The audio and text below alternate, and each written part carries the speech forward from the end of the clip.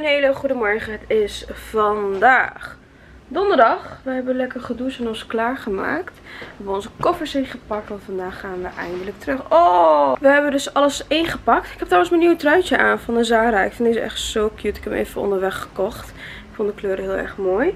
Ehm, we moeten zo om 12 uur uitchecken. En om half 2 komt onze busje ons ophalen. Dus uh, we hebben nog even tijdspeling. Ga lekker even theetjes drinken en dan even wachten tot we worden opgehaald. Dat is een beetje de planning voor vandaag. Kijk, ik ga dus voor onderweg ga ik deze bril opdoen van uh, Neppe Cartier AliExpress. En dan kan ik hem daarna gewoon weggooien. Maakt niet uit als hij beschadigd raakt of zo.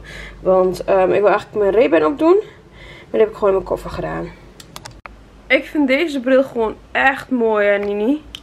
Mooi hè? Deze model is gewoon echt heel erg mooi.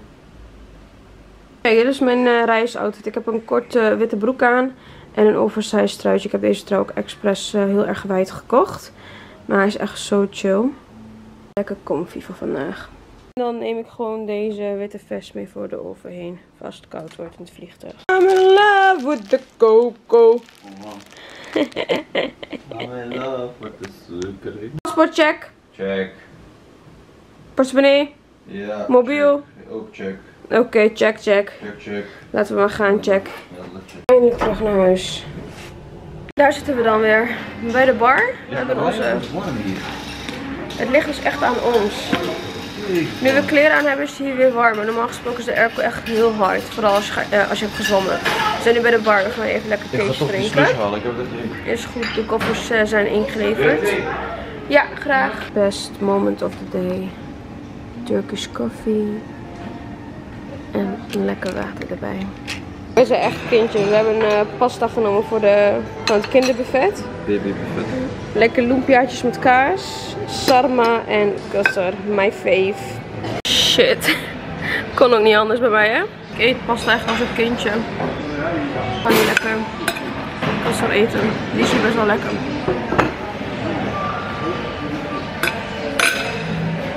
En de lumpia is ook lekker. Oh yes. ja man. Echt Turken die koken echt zo zoutig. En de eerste week echt zoveel vocht gaven gewoon. In Nederland.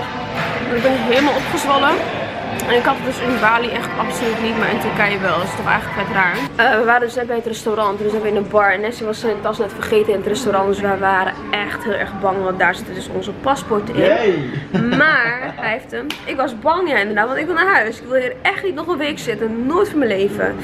Uh, ik mis mijn kat ook heel erg. Maar in ieder geval, we hadden het erover van wat... Stel je voor dat iemand hem zou pakken. Maar Nessim zegt van, ja mensen zouden het toch nooit pakken. Of ze zouden misschien uh, geld pakken en de rest gewoon, de inhoud gewoon erin laten. Dus het zou nog, nog steeds niet uitmaken.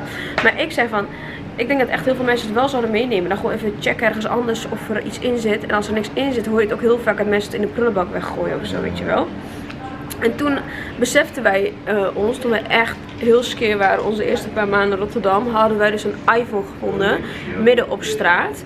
En die hadden we gewoon gelijk gepakt. En toen hadden we hem daarna verkocht voor 250 euro hè, via Marktplaats. En toen kregen we de volgende dag een brief met een boete van 250 euro. Dus dan zie je maar weer van, dat soort dingen moet je gewoon echt niet doen. Gewoon als je gewoon even kan Gewoon zoeken. negatieve energie wat je op je auto Ja, maar ja, wat moet je dan doen als je een iPhone op straat ziet? Want we hadden het echt gewoon op de grond gezien, hè?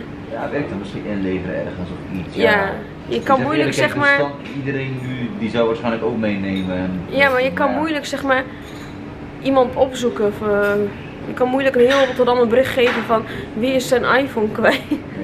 Dat kan ook niet. Maar ja, goed. ehm, ja, dat is niet iets wat Ik we zou het heel snel... Stel je voor, je vindt nu een iPhone. Wat zou je ermee doen?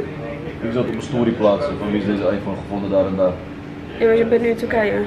Opgeven bij de Ja, Bali. gewoon met het nu, ja. Ja. Hier in Bali, maar in Nederland zou ik dat doen. Ja, man. Nou.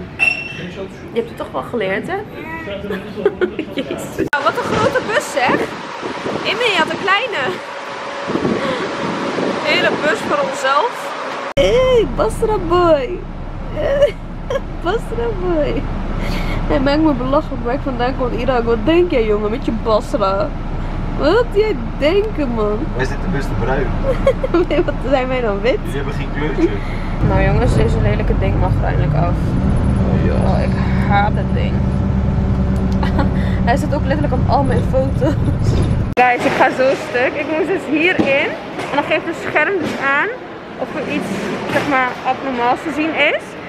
En uh, ze gaven letterlijk met mijn kut aan dat er iets was. en Nessie ging helemaal stuk. Ik was gewoon helemaal geel daaronder. Gingen ze me daar lopen checken. Iets geks verstopt daar, hè? We hebben net even bij uh, de duty free hebben een paar dingetjes gehaald. En toen kwamen we bij de kassa en toen vroeg die man aan Nessie van hoeveel heb je betaald voor je neus? Wat zei jij Nessie? Ik zeg Sanane. Gaat je helemaal niks aan.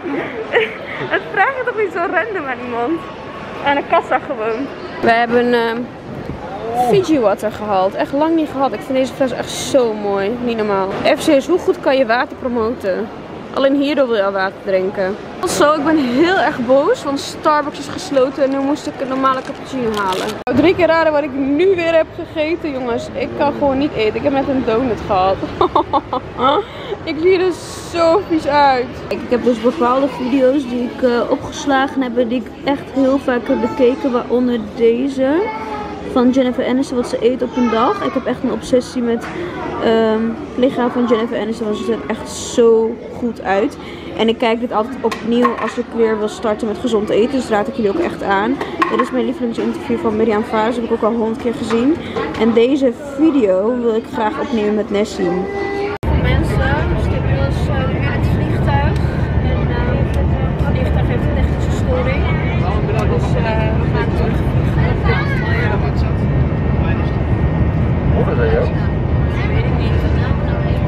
Nou jongens, we zijn uh, gelukkig veilig uh, geland. Dat was uh, wel fijn. Er waren echt mensen heel erg bang. En ik zag een man gewoon letterlijk de grond kussen. Dus ja, we mogen weer blij dat we terug zijn hier. Hij is baalt een beetje, maar goed. Ik ben blij.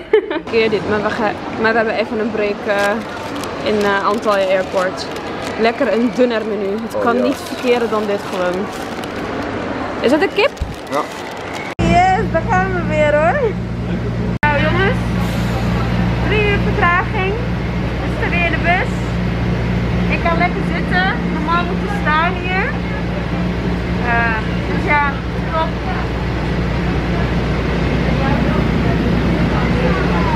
We vliegen nu naar Keulen. Um, en daarna worden we met de transfer gebracht naar uh, Düsseldorf. Wij zijn in Keulen. Ik heb het echt helemaal gehad.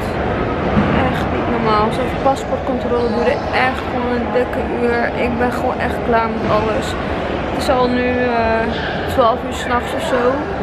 We zijn nog steeds in Düsseldorf. Uh, Honey zal ons ophalen in Düsseldorf. Ik kan uh, geen contact met haar leggen. Dus het is gewoon allemaal kut, kut, kut allemaal.